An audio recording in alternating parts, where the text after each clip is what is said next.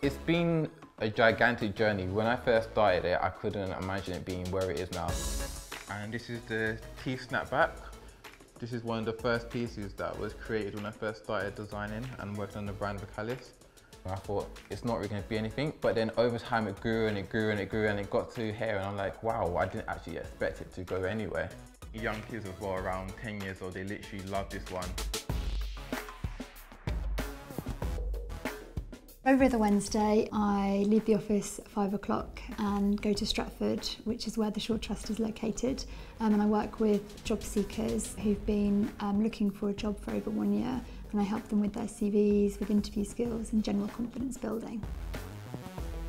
Shaw Trust is a national charity working with disabled and disadvantaged people to help them into work. We work in 200 locations across the UK and with more than 50,000 people every year. On top of the work which our staff do in the centres, we have volunteers who come in and provide additional support. I've worked with um, many different people um, while volunteering for the Shaw Trust, um, but there's one individual that really stands out, and that's Ricardo. Ricardo came to the Shaw Trust um, specifically um, for interview skills uh, for a job that he was applying for and it became apparent that he was thinking about starting up his own business. And who, who designed your um, webpage? I did. Did you? Did you build it yourself? Yeah. Wow. I remember working with Grace, she kind of encouraged me and helped me realise that you can actually do whatever you want to do. So let's have a look at the about. Something I improved on dramatically would be my confidence and self-belief, which allows me to dream bigger and say, you know what, I'm not just gonna go for something small like everyone else does, I'm actually gonna aim high. And that led me to then say, I actually wanna start my own business and do my own thing. I think the one recurring theme um, when I meet the customers is this lack of confidence.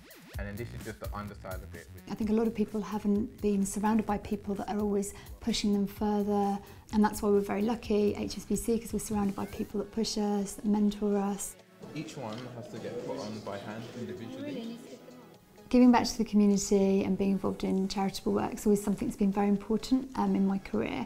Um, and in recent years I found um, I wasn't really doing as much of it as I wanted to and that's why I decided to volunteer. So there may be um, days where you know I've had a really really busy day and the last thing I feel like doing is sort of getting on a, a tube and coming over to the Shaw Trust but the thought that maybe I might make a slight little bit of difference to somebody they might just I might be able to rewrite their CV and they might be able to go and get a job based on some of the tips that I give them that's what um, gets me out the door.